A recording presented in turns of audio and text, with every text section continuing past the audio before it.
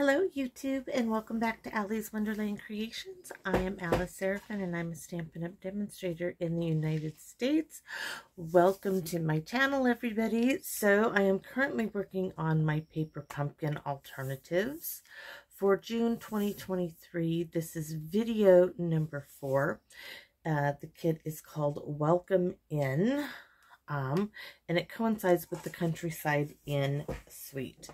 So I am first going to show you, this is like, probably got one more of these in here where I show you this stuff and then uh, I'll be done.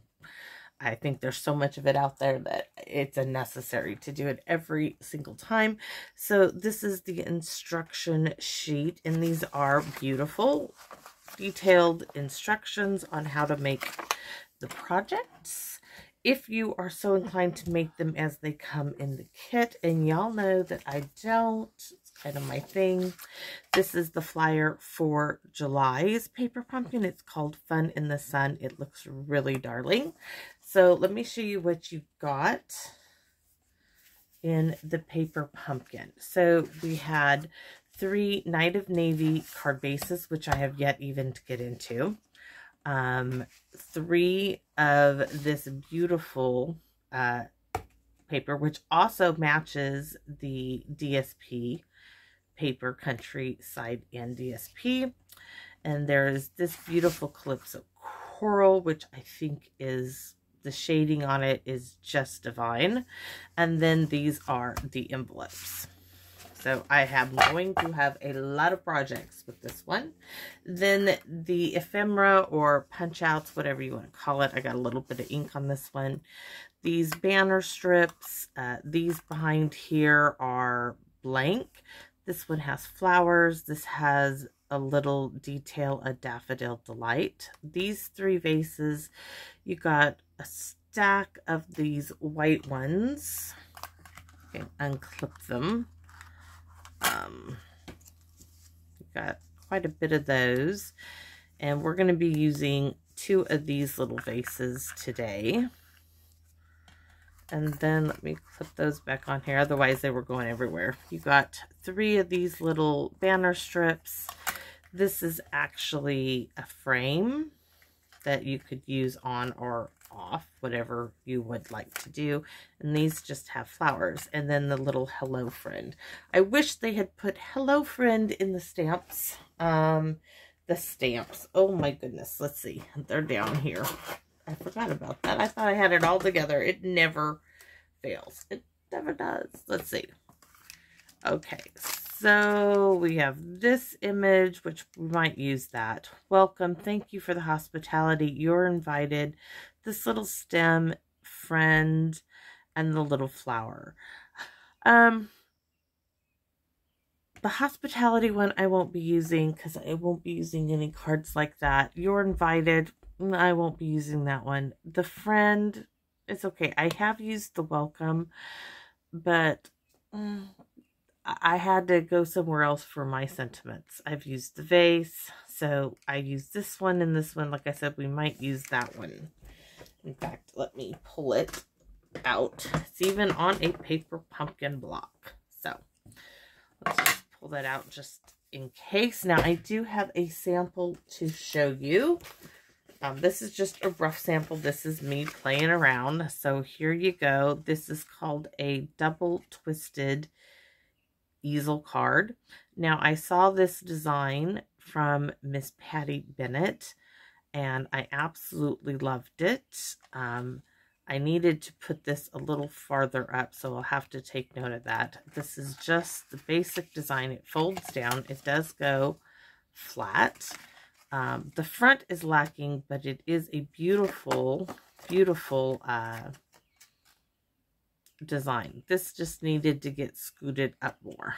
Um, so, and I did change it. I changed this little mechanism on it um, to suit me. Um, so, let's try to do a better job. I did not, I'm going to tell you, you really need to be careful when you score it because you really need to get point to point because this one was a little off.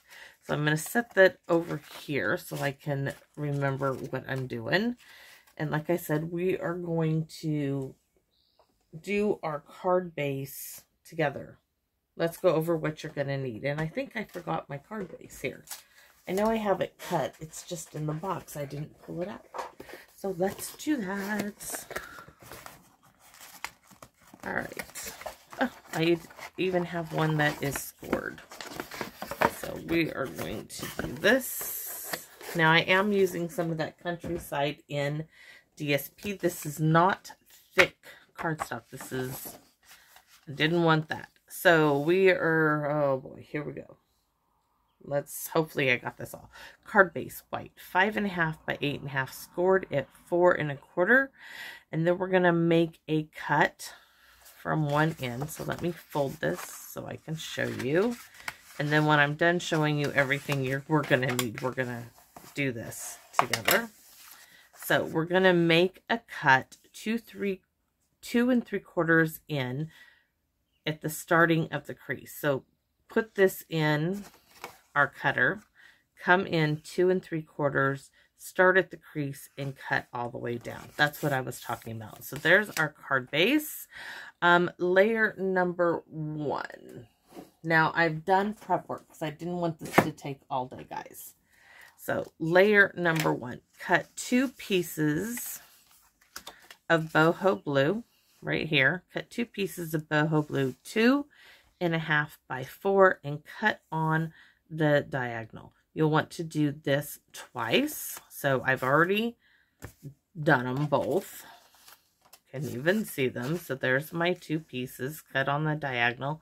Now I'm going to tell you, for this, you just need to cut the diagonal. For the DSP, it'll be a little, uh, a little different. So I'm going to lay those right here. Now for our DSP layer, you're going to cut two. I'm using the Countryside Inn Suite. You could use the Calypso Coral base to cut down.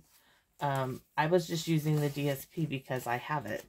So you could use this to do that card, this card with.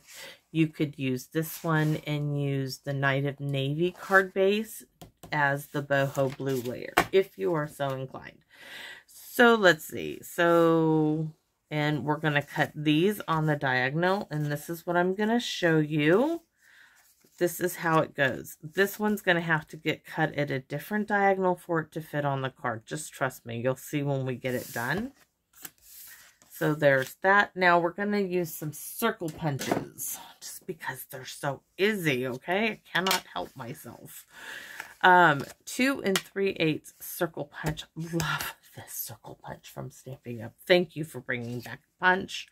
A two inch circle punch, and that is, we're going to use these little flowers here. So let me show you. I'm using all three of those new punches, two and three eighths, which is part of the Circle Sayings uh, bundle. The two inch circle punch, which is an online exclusive, and that one and three quarters inch circle punch, which is also an online exclusive. So I'm going to set those over there. So here we go. So two and three eighths, two inch, and a one and three quarters. We're going to stamp on that one. Let me just clip those together. Not this one.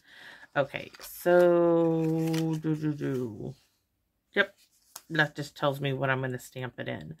We need, it, here it is. I'm like, where is it? We need a one by five and a half inch strip of boho blue. And then we need a piece of DSP three and three quarters by five and a quarter. And that magically is already done for us. Look at that. A little bit of prep work here. It's already glued onto its counterpart. Then we need a piece of white that is one by seven, scored it two, two and a half, four and a half, and five. This is our little pop up it's going to go just like that. Okay, that's why. Making sure. Yes, there we go. That needs to go with our circles. So, and then for our elements from the kit, we're going to use these two small little vases. And I have some leaves. This is balmy blue. We're not using balmy blue this morning I sat here and I did a lot of die cutting with little scraps. So we're going to use this element. We're going to turn that one this way so it goes that direction. And then I'm going to show you the dies. And then I stamped and die cut this little flower to go on the vase. Where are those little dies at? This was the add-on, the Welcome Inn dies. So I did quite a bit. I don't know if you can see all that stuff over there, but I did quite a bit of that today. So let me see. Those can go back to the pile. Um, I also brought in the small bloom punch and whatever this one was called. It was a pack of four years ago. Um, oh, no, not this one. Sorry. That was on my sample. Let me put that back. Bad, bad, bad. Um, so I did three of these um, small bloom punches, three in Night of Navy. And then when I was sitting here die cutting, these literally were an afterthought. That little tiny floral die, I just cut this at a scrap of the envelope. And we are going to add that like so and put one of those little blue enamel dots on there. And it's going to be lovely. So let's get started with our project. I'm going to hopefully not lose any of this stuff. Put it there. Put that there. Move everything back to the magnetic clipboard thing I have here sitting on my desk. And we're going to get on to our card base. And I'm going to try to do a much better job of lining up my diagonals on it. So give me a second to move all of that aside. And we need the cutter, trimmer, whatever you want to call it. Something you can score and cut on. So I'm going to bring my notes here. So we have our card base five and a half by eight and a half scored at four and a quarter. Going to open her up like so. Open this up. Now I don't need the scoring blade as of the moment. So I'm going to bring it in. Here's two, two and three quarters of an inch. All right. So now I'm going to hold this up while I get this in place. I want it to be at four and a quarter. And it might be easier for me to see it. So here's four and a quarter, and there is this little groove right there, which lines it up. So it looks perfect. So I'm going to pop it in place and cut all the way down. Oh, yes, perfect. So I am going to move my cutting blade all the way to the top. And the easiest way to do this is to fold one back and we are scoring from this where the center of where we cut to the outside corner both from the inside. So it was easier for me to open it like so and then to position it like so. So I'm putting that point there. Hopefully I get it right where I want it. I'm going to bring this up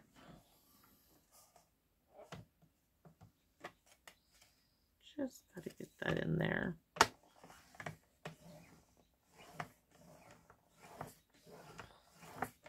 Okay, so there, point to point, that lined up really well. I'm going to flip that one back. I am taking my time. I want you to see this. So here we go. I think that looks really good because last my sample I did not get it scored. Oh, I missed just a hair of this one. So now we have our two score lines and we're going to put this away and that is all done. Um, I need the bone folder, sorry, hit the camera stand as it bounces still. So this time I'm going to fold it back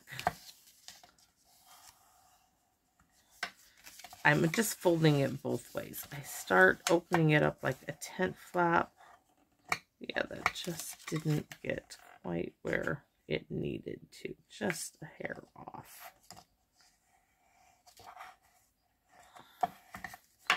Okay, but then it needs to go the other way, so I'm just folding it back and forth. All right. So now, looks like a men's collar. There's our fold. We're going to set this aside. Now I'm going to bring in... The reason why I went ahead and did this early is because when I cut this, it's the same as cutting uh, the boho blue. So I don't think that's, you just cut it to, let me make sure. Boho blue was cut at two and a half by four and it's scored on the, well, cut on the diagonal. This DSP is two and a quarter by three and three quarters and we're going to cut that on the diagonal. But what you need to remember, let me show you is these pieces fit like a puzzle. So those are going there, correct? This one is going down here. The cardstock layer really doesn't make a difference, but this piece does. Um, so I'm, I'm just telling you, when you cut your DSP, be aware of where it's going on this card. I made quite a few mistakes the first time around. So, this is my DSP. And I need to cut it from this corner to this corner for these two pieces to fit here. Otherwise, it would end up, if I cut it going this direction, I would have to have this side over here. So I'm cutting for the right panel, I'm cutting from the left top corner to the right bottom corner. I'm going to put this, the guillotine works great at this. I just make sure I have that tip and this tip of the corners and cut. It's, it's not hard, but you do need to just pay attention. So I'm going to glue these now on their counterparts, keeping them like so, so they fit in there.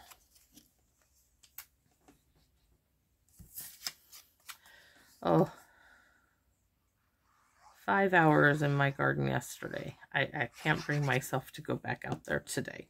I still need some work, but I was up at six something this morning and I'm like, okay, time to go play with my paper pumpkin, do another video. Wet glue is my friend. It allows me to do the wiggle wiggle on stuff. This one I need to start maybe using a little bit more of the paper pumpkin, but there is so much to be had. Let's see. And if you'll notice on the small vase, it's this print just smaller. It's really cute. I love it. So now that we have our diagonal pieces, we can glue them in place. Don't get ahead of yourself when you're doing this card. Take it nice and easy. Why I did so much prep work.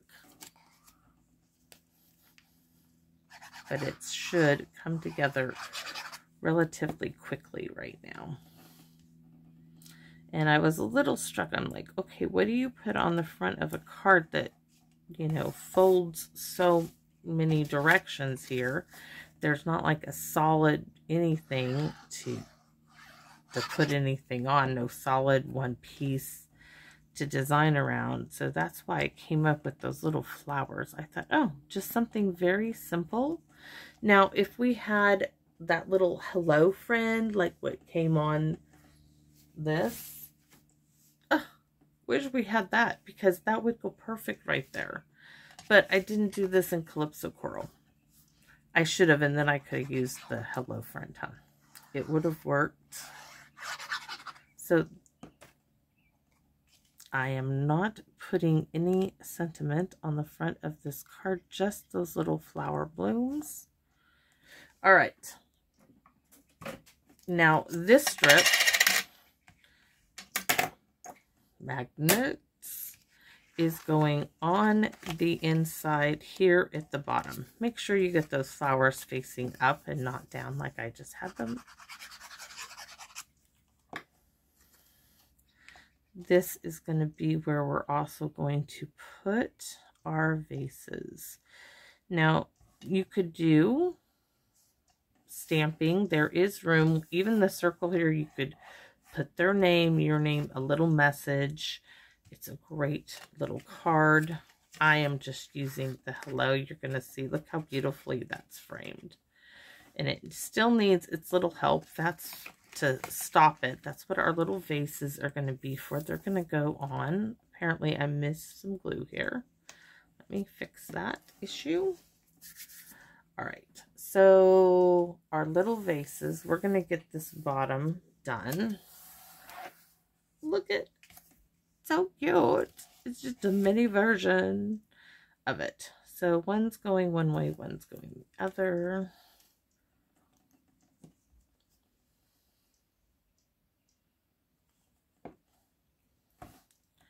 This morning I just sat out here and I just was die cutting a whole bunch of little scraps of paper. I'm like, yes, I can use this. We'll just get it all pre-done so I don't have to do it later.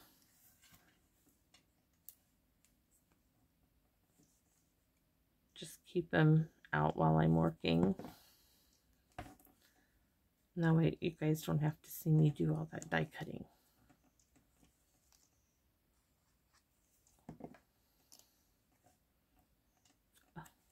so, so darling. Dimensionals. Now I'm going to just stick one dimensional. Ah! I don't think I put enough glue on that apparently. Because I don't see any glue on it.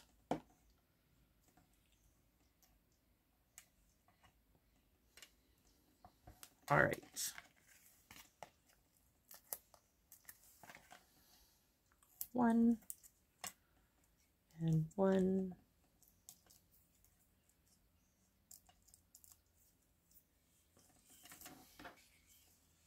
Open our card up. This is going to go, let's see, we need it to go right there. So we just need it. Ooh, perfect just like that. It's just going to catch it. So I want to open this one up, put it where this starts to help it, but I just want to make sure. So I'm just getting that right to the edge. Oops. Do not stay down. This one's like not quite there, so we got to do the same on this one. It's just that little top bit that is catching that. Look how pretty this is. Ah, okay, so mm, we need to do a little stamping. First, we're going to glue our circle together. Now, you could use that side if you wanted to, but I thought that was getting a little busy with the DSP, so we're going to keep it with that little blue flowers.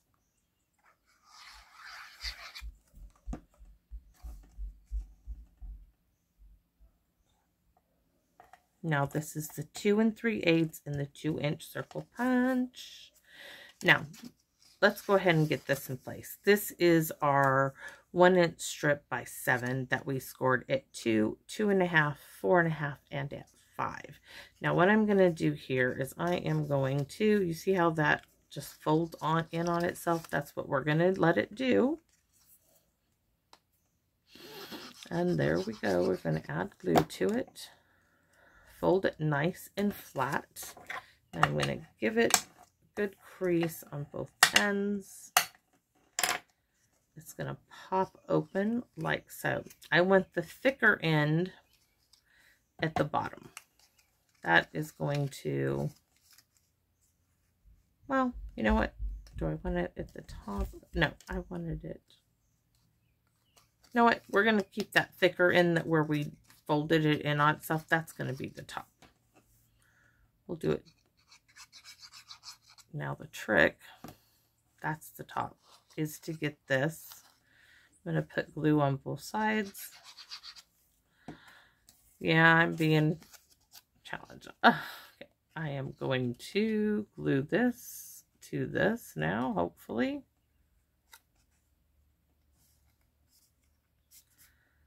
There we go. And I want it popped up so that I get it in its right spot. The other one was a little low. This one needs to go in the center. Let's see.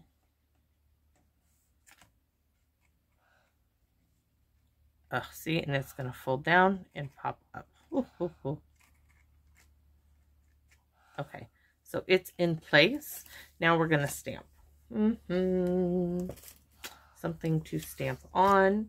I chose the Hello from the Layering Leaves right there because it's so pretty. And we're going to stamp in Night of Navy. You could do boho blue, but I wanted the nice dark Night of Navy.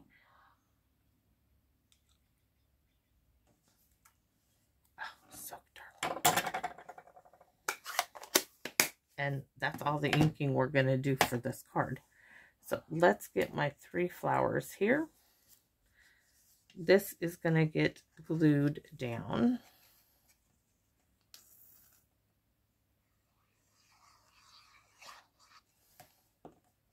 in the center pop that down.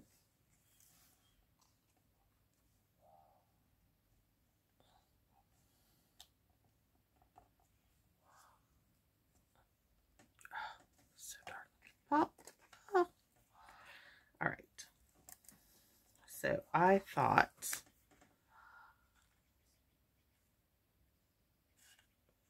I should have stamped it.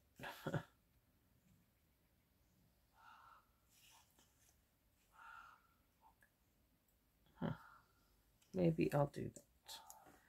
So these little, all of these blue flowers are going to get their little counterpart from the envelope. But I am going to take my bone folder or my nails. Nails aren't quite there yet. And give these a little turn up. And hang on, we are almost there. We can do this in like two minutes, I think. Be done with this card. So, I'm going to add some glue to the center. I didn't even stamp on that, and I don't want to. Just, I didn't like it. I tried it, and I didn't like it. I think the little blue enamel dots, the Night of Navy dots, will look darling on these. And this one, oh, There's two on this one. Oh, that's just where the envelope went over on itself. The edge from the back half is what that's from. So, I'm not sure if I want that on there. Okay, pop our card down. We are just going to add a couple little flowers do I want to add another one? I'm not sure. Let's add them here. This is where I originally wanted them. We're going to pop a glue, a smudge right there.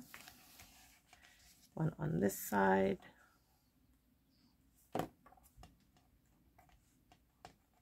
Just to add a little interest. Where's my enamel dots? There we go. Pokey tool, pokey tool.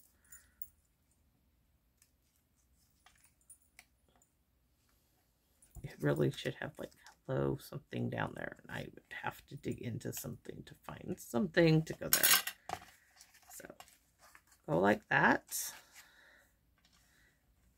And I could do, I could do it. Okay, we, we need to do that.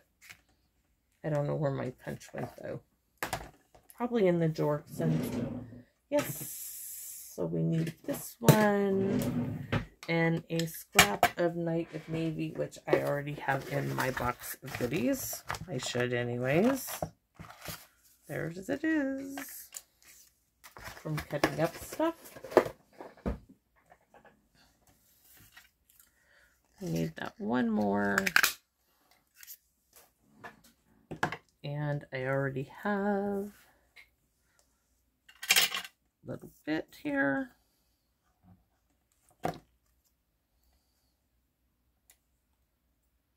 Think we're going to put some bling on the inside.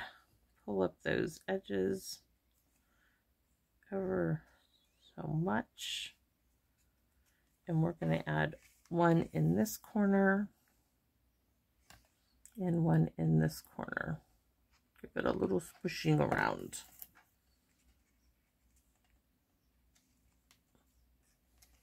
It just needed a little bit of visual interest. And enamel dot.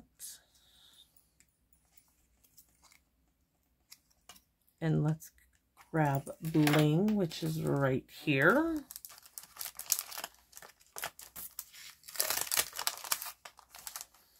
So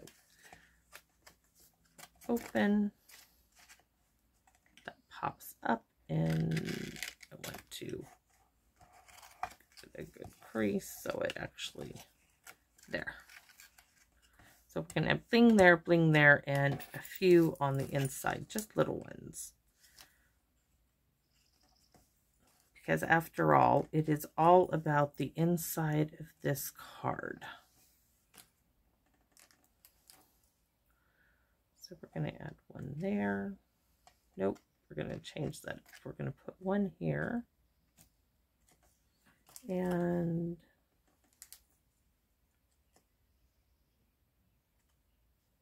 we're going to add one there. Yeah, I know. I'm changing my mind up. Just can't help myself in one there. So that is our card. Do do do do. All done.